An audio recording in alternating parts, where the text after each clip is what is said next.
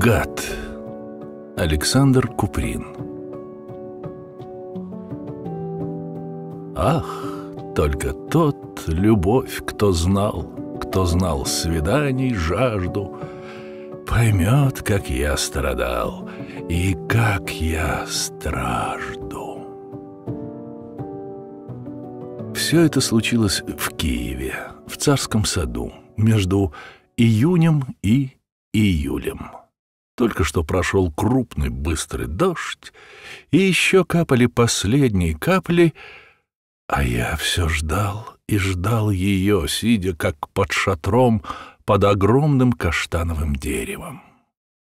Где-то далеко взвывали хроматические выходящие гаммы трамваев, дребезжали извозчики, и в лужах пестро колебались отражения электрических фонарей. Ах, только те люди, которым было когда-нибудь двадцать лет, поймут мое волнение. Она ясно, твердо и определенно сказала, от минеральных вод, войдя в калитку, первая скамейка направо, ровно в девять часов вечера. Конечно, я пришел на условленное место в восемь часов и долго подозревал, что часы на городской думе идут очень медленно. Бог знает, может быть, за ними никто не смотрит. Несколько раз я бегал на улицу Крещатик и смотрел на освещенный циферблат. Но время как будто остановилось. Остановилось именно мне назло. Иногда мне приходила дикая мысль. Может быть, в то время, когда я бегал смотреть на часы, она приходила? Не нашла меня, рассердилась и ушла? Может быть, она прошла мимо, а я не заметил? Ведь вопрос шел о жизни и смерти. Мы должны были пойти к моему другу и сказать ему, «Я честный человек, я люблю твою жену, она любит меня. Обманывать мы тебя не хотим. Мы уходим вместе. Капли падали на землю все тише и реже. А может быть, она ошиблась? Может быть, назначила не ту калитку, не ту скамейку? И перочинным ножичком я вырезаю на гнилой доске. Был такого-то числа, такого-то года, от девяти до десяти. А может быть, просто она испугалась дурной погоды или, позабыв о часе, спокойно пудрится перед зеркалом. И вот, наконец, вдали мелькает чей-то тонкий черный силуэт. Конечно, это она. Сердце останавливается на секунду, и потом бешеный толчок. Кружится голова, и перед глазами бегут какие-то огненные звезды. Нет, это не она. Женщина говорит басом. «Душка, штатский, дозвольте прикуриться». И опять начинаются мучения. Я разговаривал сейчас с этой женщиной, а может быть, она видала через решетку и от брезгливости ушла. Конечно, хватаешься за мысль о самоубийстве. Ведь с молоду это так легко делается. Я опускаю голову на ладони, стискиваю лоб и раскачиваюсь взад и вперед. И вдруг слышу рядом с собой голос. «Да, молодой человек, я тоже об этом подумывал, когда мне было столько же лет, сколько вам теперь». Я даже не успел заметить, когда этот человек сел со мною рядом, но уже почувствовал, что голос у него печальный, и дорисовал его наружность. Высокий рост, котелок, мокрые усталые глаза и длинные висячие вниз усы. Я ему сказал кротко, «В царском саду очень много скамеек. Почему облюбовали вы именно мою скамейку?» Он закурил, откашлялся и начал как будто бы робко. Видите ли, вы сейчас ожидаете женщину, которая к вам не придет, я в этом уверен, потому что это я вижу по вашей молодости и по вашему нетерпению. Она вас, извините, только дурачит, а я просто-напросто выслеживаю одну даму. С кем она сегодня пройдется, с военным или штатским?» Пожалуйста, выслеживайте кого угодно, но помните, я с вами не знаком и выслушивать вас не склонен. Неужели это ваша профессия — шпионить за женщинами? Ах, совсем нет. Эта женщина — моя жена, а я — гад. Теперь представьте себе муки неудовлетворенной любви, двухчасовое ожидание — а рядом из минеральных вод несутся звуки оркестра, играющего антракт перед четвертым действием «Кармен». Представьте темноту в саду и лужи, освещенные фонарями, там, на улице, и человек, которого я не знаю, только чувствую в темноте, спокойно докладывает, что он гад. Что-то скользкое, противное, холодное ползет по мне. Не во сне ли я? Но он, как будто бы читая мои мысли, говорит. Собственно сказать, гад — это дурацкое слово. Моя профессия, то есть, вернее сказать, я этого... Э, того... прорицатель, предсказатель — то есть гадальщик на картах и на другом. А здесь народ все серый, необразованный. Гадалку так и зовут гадалкой, а если мужчина, то гад. Вовсе не думайте, что это легкая профессия. Еще раньше было туда-сюда. Приезжаешь в какой-нибудь город Проскуров или Крыжополь, сейчас же первым делом визит. К кому? К исправнику к становому приставу. Ну, конечно, ясно, барашка в бумажке, в офицерское собрание завернешь. Там весь народ молодой и веселый. Покажешь им несколько фокусов на картах, опыты шпагоглотания, ксилофон с карандашом в зубах, куплеты на злобу дня и еврейские анекдоты. И затем рисковый номер — капитан с несгораемым желудком, то есть выпьешь стакан керосину и, и стеклянным блюдечком закусишь. И они тебя напоят, накормят, а главное, не спрашивают, откуда ты пришел и куда идешь. Прекрасные молодые люди, потому что сами по душе и по профессии бродяги. Конечно, в самом благородном смысле. Искатели пряных впечатлений. Но главное ведь для нас то, что за это время я моей провинциальной публике успел уже примелькаться. Сейчас же еду в еврейскую типографию, которая печатает «Крыжопольский курьер» в количестве 15 экземпляров, а также и визитные карточки на ручном станке. Договариваемся в два слова. Делаю там кредит, кредит у парикмахера, в бане и в гостинице. И на другой день на всех заборах наклеены плакаты. Случайно проездом через этот город лейб-маг царя Персидского и придворный предсказатель абиссинского короля Тер Абрам Хахарианц даст несколько сеансов чревовещания и ясновидения по способу известной хиромантки Ленорман — а также мадам Тебу и мэтра Папюса. На картах на бабах, по линиям рук, рассказывает будущее, настоящее и прошедшее. От многих коронованных особ личные похвалы факсимиле. Частные приемы от одиннадцати утра до трех часов пополудни. Трудящемуся народу, нижним чинам и ученикам — значительная скидка. Замечательно, редко, единственный случай увидеть всю свою жизнь в стакане воды. С мужчинами обыкновенный разговор, ведь мужчина, хоть он и дурак, и уши у него холодные, и, так сказать, вообще осел, но он все-таки думает, что у него душа тигра, улыбка ребенка, и поэтому он красавец. А стало быть, смело ври ему в глаза.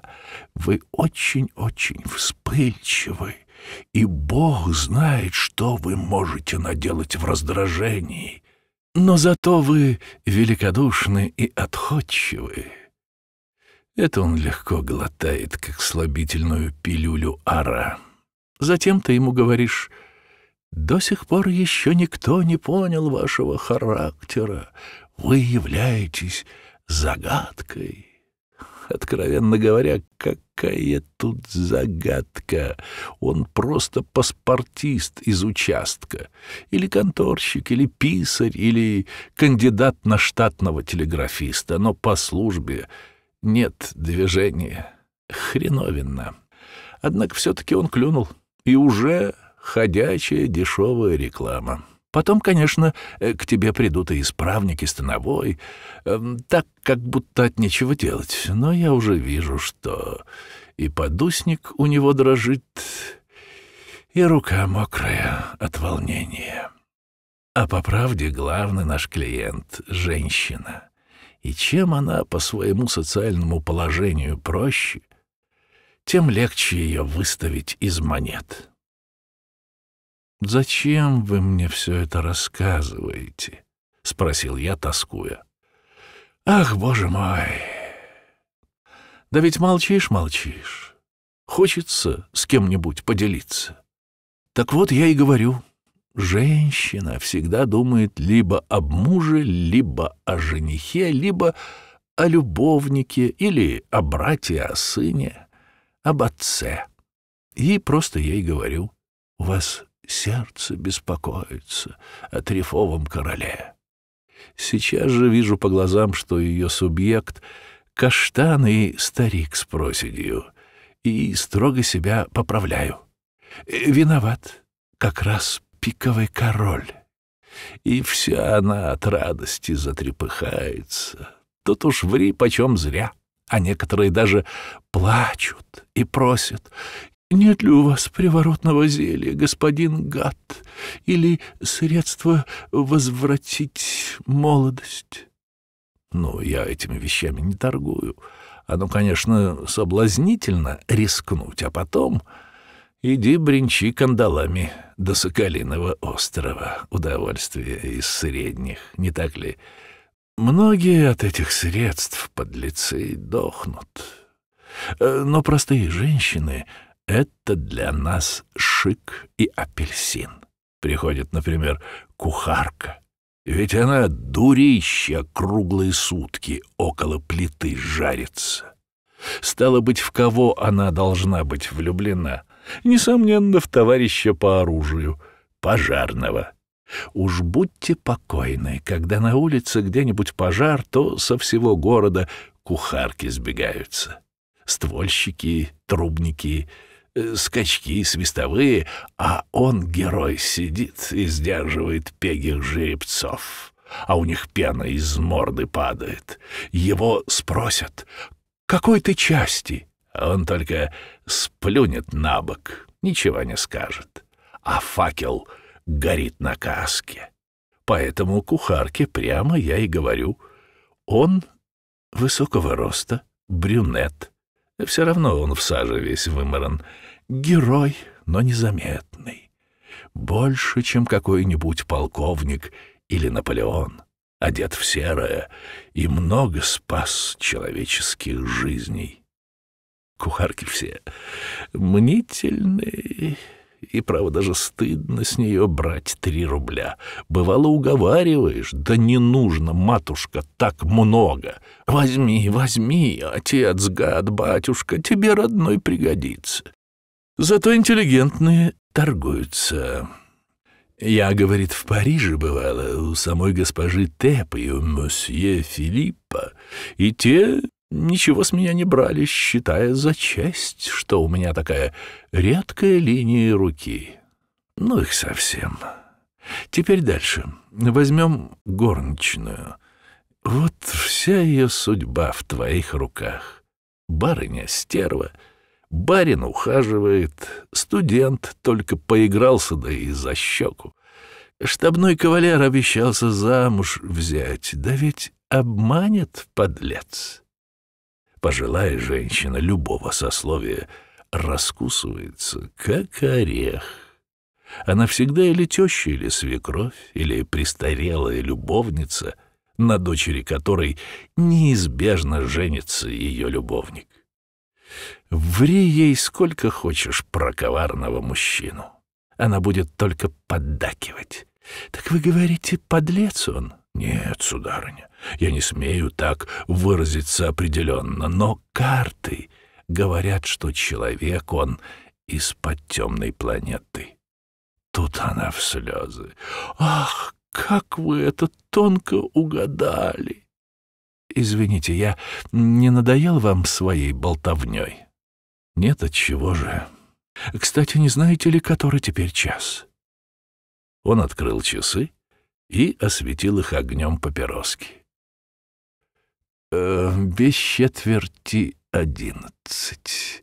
Вы сами видите, что хлеб наш очень нелегкий. Однако кормились мы им понемножку. Все-таки худо-худо пятерка набежит за день. Но бывали и тяжелые положения. Мертвые избитый город. До тебя побывало пятьдесят человек. Ничего не поделаешь. Заколодила, полиция свирепо, публика не хочет идти. Приходилось и стрелять на улице. Благо, язык хорошо подвешен. На бывшего чиновника, на политического студента, на сельского учителя. Грехи. А тут еще зубами ляскают свои городские специалисты. Прошение писал по трактирам, но и там есть свои юрисконсульты, очень ревнивые люди. Чуть пронюхали мордобой, и всегда у него свидетели и заступники. Стало быть, зализывай свои раны и езда в другой город зайцем, не то пешком. В этих жестоких случаях, бывало, уговоришь какую-нибудь заблудящую бабенку на говорящую голову и на опыты магнетизма и ясновидения. Это вам, конечно, самому известно, как делается. Лежит она, облокотившись локтем на острие, подперевши ладонью щечку, а все остальное тело без никакой подпорки распростирается горизонтально. Пустяшный номер. Ну, там иголкой колоть по системе доктора Шарко. Это ерунда. Двойная иголка внутрь уходит. Но главное, здесь переход к ясновидению. Угадывать, что за предмет у зрителя. Часы, брелок, афиши, портмоне, сколько денег, какие деньги, бинокль, веер, перчатки и тому подобное. Вообще больше 30-40 предметов редко бывает у публики. Итак, Шесть прямо, шесть вниз, шестью шесть — тридцать шесть. Всего тридцать шесть условленных предметов. Вроде разговора по тюремной системе. А представьте себе, никак ей дуре не втемяшить. Еще что попроще, пожалуй, заучит, как попугай. Наводящие слова «теперь что?», а теперь какой предмет? Это что? Что я держу в руке? И тому подобное. А уж что-нибудь особенное, например, старинная платиновая монета, то тут начинаешь метаться, как тигр в клетке.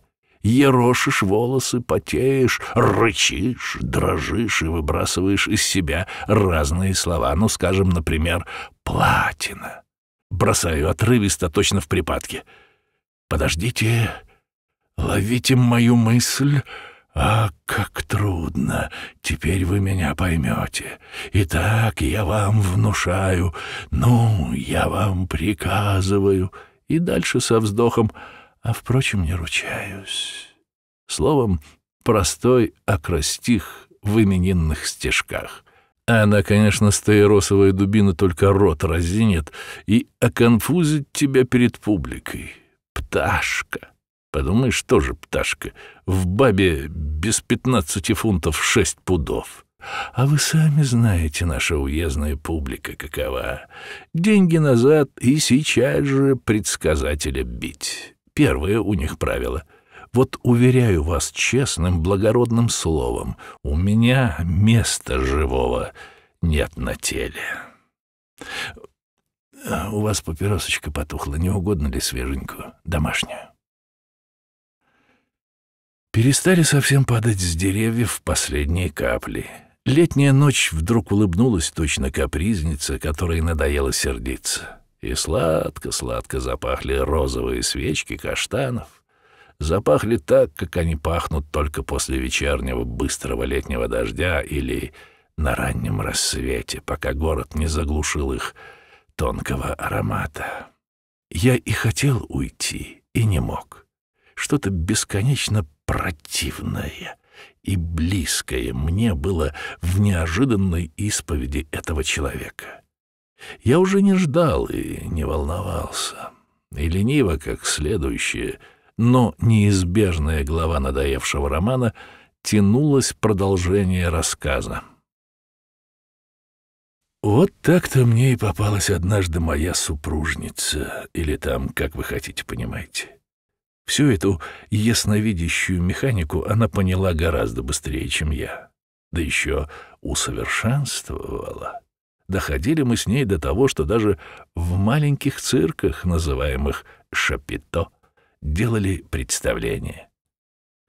Но все-таки после пяти-шести вечерних представлений наклеиваю афишки, что в номерах, мол, Коктяева от двух до пяти сеансы предсказание будущего с ясновидением настоящего и прошедшего. Если разрешат, прекрасно, а если нет, то в сто раз лучше, понимаете? Тайна. И сам боишься, и пациентам страх передается. Да и в самом деле, подумайте, пришла кухаренция, я в ее присутствии усыпляю Аугусту, ее звали, Аугустой, и трах-тарарах, сразу известно, где она купила ботинки, и как зовут ее хозяина, и сколько ей по-настоящему лет, и сколько детей, и из какой она губернии и уезда, и сколько процентов получает в лавке, десять. Эта кухарка все мне на ухо говорит в другой комнате, а я, Августе, передаю гипнозом. «Гипноз!» Вдруг воскликнул он, сгорбившись и долго хохотал и кашлял. Потом выбросил изо рта папироску, выпрямился и продолжал. «Ах, большие мы с ней дела делали. Я ведь, ей-богу, и до сих пор не знаю, из каких она. Образованная, к иностранным языкам была способна. Французский, немецкий, польский, английский. Но вот, черт побери, какая-то непонятная есть у нее страсть к военным. И не то чтобы к офицерам и генералам, а непременно к простым артиллеристам, солдатам, к фейерверкам, бомбардирам и наводчикам. Я думаю, что это даже такая особая болезнь. Как вы думаете? Право, я не знаю. Может быть и так. Словом сказать, всегда среди самых спокойных дел она вдруг исчезает и непременно кассу умыкнет. И от нее ни следа, ни глаза, ни послушания. И как назло налаживаются комбинации самые золотые. Но что поделаешь. Я уже без нее и врать не могу. Воображения не хватает. Привык. Разыскиваю ее. Не найду. И нет, и нет работы. Положение в городе становится совсем бамбуковое. Публика больше не ходит. Приезжает какой-нибудь паршивый, неожиданный конкурент и приходится ночью оставить чемоданы в гостинице, сунуть паспорт в боковой карман и бежать в первый попавшийся город. Сначала все трепетал, что она меня не сумеет разыскать. Писал в брошенную гостиницу свои адреса на открытках. Нет таки. Точно чутьем, каким собачьим, разыщет, приедет, и опять весь город в наших руках. Сыпятся бешеные деньги. Выкупаю чемоданы, фраг, ордена ганалулского принца, ем ежедневно бифштекс и запиваю английским портером. Приходит она ко мне, жалкая, изленявшая, часто подбитая, нетрезвая, но, увы, живучая, как кошка, быстро поправляется и входит в тон и работает. Ну, просто как ангел. И так из города в город. Провал и успех. Декокты Валтасарова пиршество. В восторге публики, и не говоря ни с кем ни слова, плащом прикрывши пол лица, марш по шпалам. А тут как раз время подоспело удивительно горячее. Точно все люди сделались сумасшедшими. Прежде приезжаешь в город, как тать в нощи. Не знаешь, кого куда поцеловать, чтобы разрешили. Случалось ни с того ни с сего какой-нибудь чин вдруг покраснеет, да затопает на тебя ногами, да как зыкнет, что только едва-едва пролепечешь про себя молитву «Помяни, Господи, царя Давида» и, как кузнечик, сиганешь в другой город. И вот ни с того ни с сего Точно по мановению волшебного жезла приезжаешь в какой-нибудь город, даже в губернский, и видишь, что перед тобой все лебезят. И становой, и ротмистр, иногда и сам полицмейстер, и городской голова, и уже непременно предводитель дворянства. Ну, положим, предводители все моты страдают одышкой, раскладывают пасьянс, и жены бьют ей их туфли по голове. Это уж как всегда. Дворяне. Стоит мне только прийти и объявиться, позвольте мне, мол, афишки повесить. И тотчас забота необычайная. Позвольте, да мы, да вы, да, может быть, вам в этой гостинице неудобно, да, может, прислуга неучтива, да вы не беспокойтесь. Совсем как в бессмертной комедии господина Гоголя. Или как э, по-польски «Може а, може ца, може воды, може сядать». Я ничего не понимаю. Удивительное какое-то пошло время. Готовлюсь к завтрашнему сеансу. В цирке, в кинематографе, в семейных домах не все ли равно? На всякий случай расспрашиваю у швейцара, у коридорного, у буфетчика — о местных жителях. Они рассказывают охотно. Ведь все люди суеверные, а эти эфиопы видят во мне существо особенное.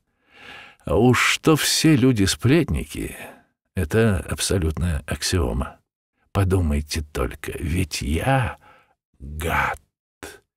И уже я успел наврать им столько лесного и страшного — что они ходят как очумелые и только издали умоляют такими влажными собачьими глазами «Милый, погадай еще разочек». Но нет, мой принцип такой. В гостиницах служащим я гадаю бесплатно, но только один раз.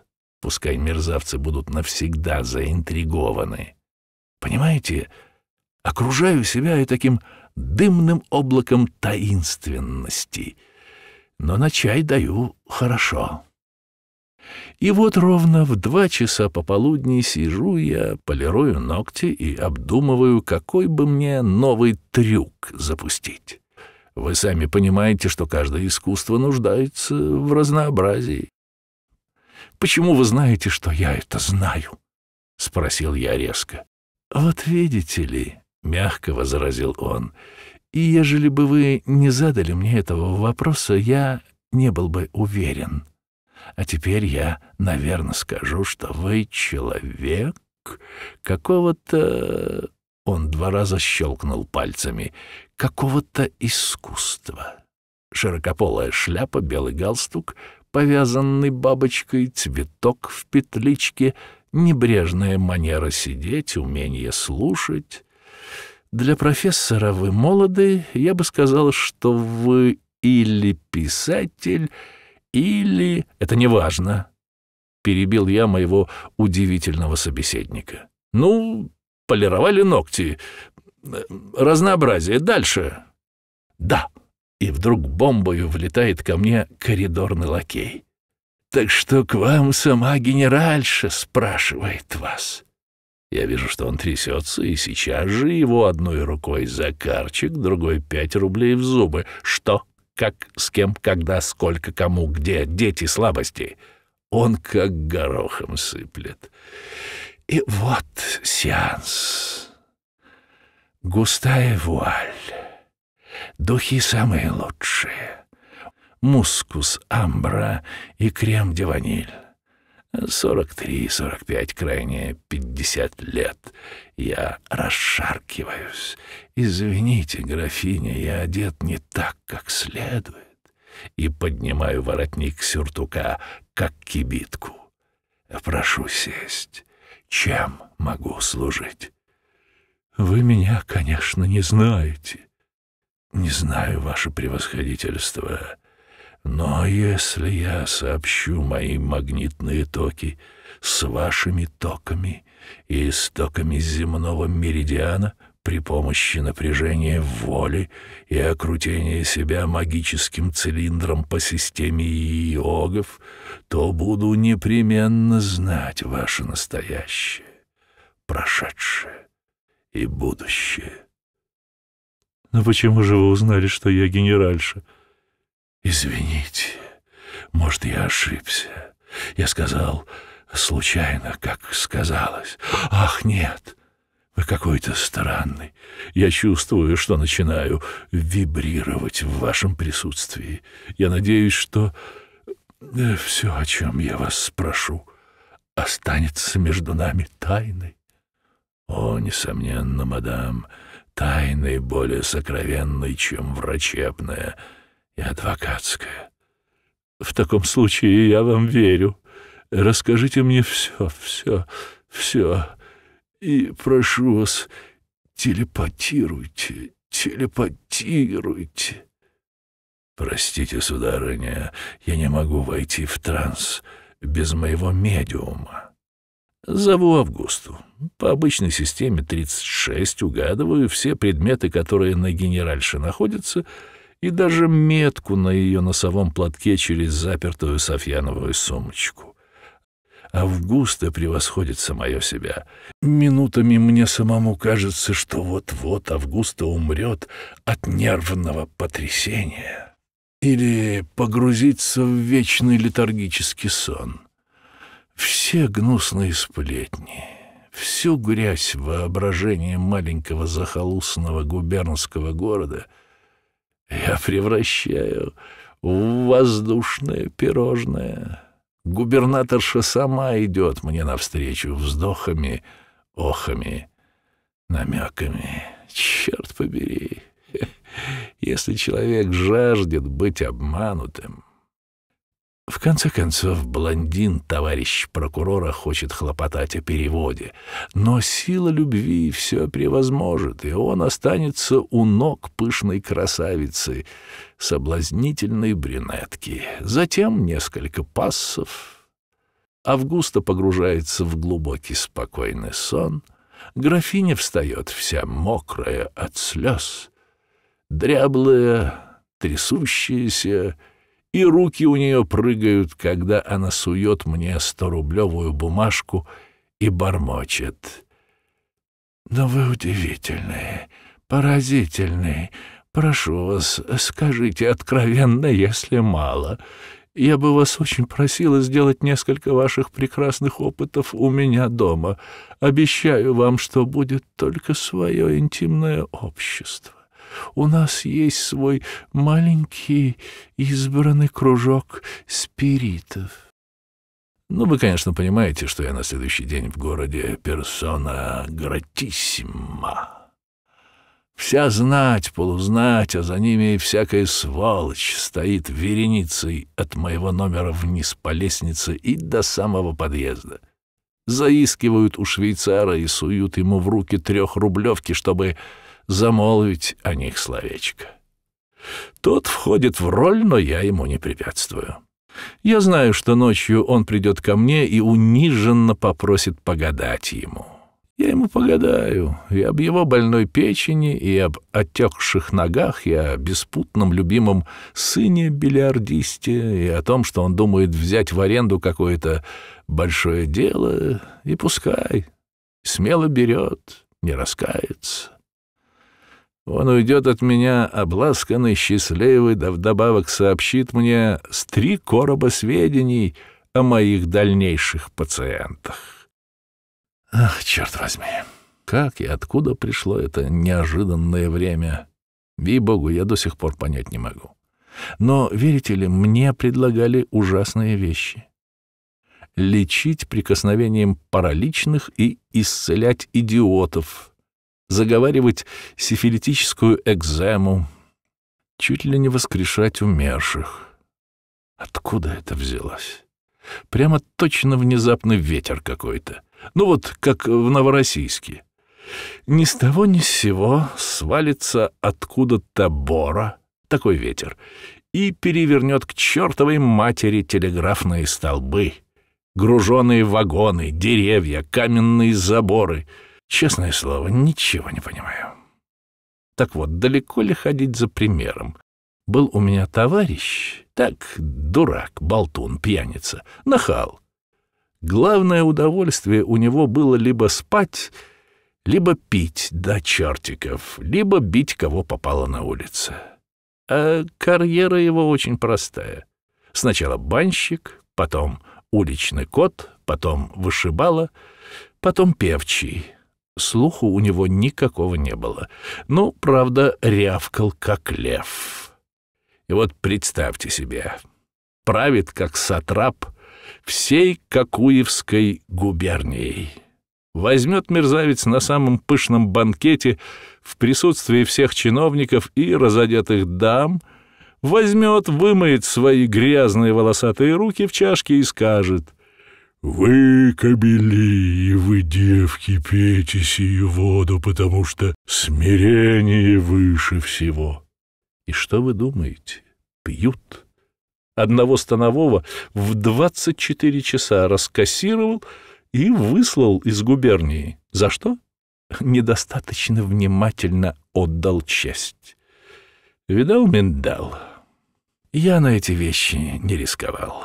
Я человек хоть негодный, но все же настоящий христианин, верующий. Я просто только чувствовал, что пахнет жареным. Я скромно думал, зачем заноситься? Возвеличишься, англянь тебя и по шапке, и не вспомнишь, как тебя Сенькой звали. Думал я, скопить бы это к тысяч десять-двенадцать и открыть бы в каком-нибудь городишке свой собственный кинематограф. Дело верное, питательное и никому не обидное. Кто умеет. И только бывало это самое задумаю про кинематограф, и все у меня выходит ладно и чинно, вдруг трах на сцену является артиллерист. Впрочем, иногда и сапер, э, но все-таки чаще артиллерист. И все пошло к черту. Нет ни кассы, ни усыпляющейся женщины, и опять строй здания на песце. Нашли бы другую, — вяло посоветовал я. Ах, вы этого не поймете. Привычная работа. А, впрочем, постойте. Он вдруг выпрямился, точно его кольнули шилом, и крепко обхватил мою руку длинной узкой цепкой холодной рукой. Мимо нас проходили двое. В темноте было трудно разобрать. Высокая, молодая и, судя по походке, полная женщина, и рядом выше ее на полголовы стройный мужчина, позвякивавший на каждом шагу шпорами — мы помолчали, пока их силуэты не поглотились темнотой ночи. «Ну вот, так я и знал», — сказал уныло мой случайный собеседник, поднимаясь со скамьи. «Так и знал. Ах, что бы я мог сделать в этом городе! я бы здесь буквально катался, как сыр. А, впрочем, извините за беспокойство, господин поэт. Может быть, я вам надоел. Прошу только одному верить. Разблегустался я так в первый и, конечно, в последний раз в моей жизни. Длинный худой, он приподнял кверху свою шляпу-котелок, склонив при этом голову на бок, и ушел медленными, беззвучными шагами. А через пять минут и я ушел из царского сада, нанял извозчика до вокзала и поехал в Петербург. Все это было в 1893 году. Не то в июне, не то в июле.